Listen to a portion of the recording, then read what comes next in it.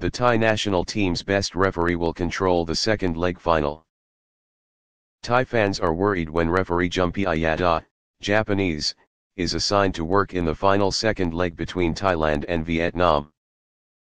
Accordingly, referee Jumpei Iida was invited by the AFF to hold the whistle in the second leg of the AFF Cup final between Thailand and Vietnam at Thammasat Stadium at 1930 on January 16.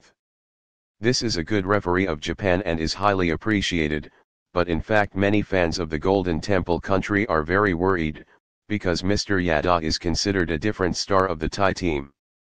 Three times he controlled the match this team failed.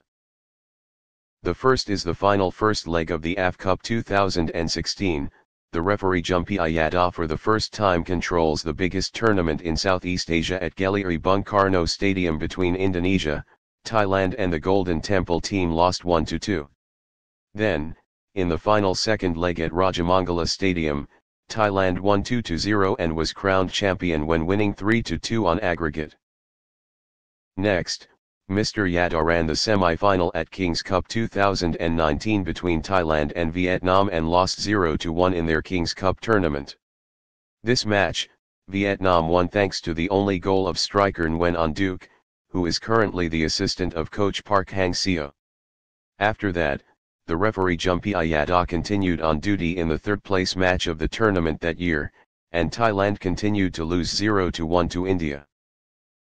In contrast, referee Iida ah is considered the one who brings luck to the Vietnamese team.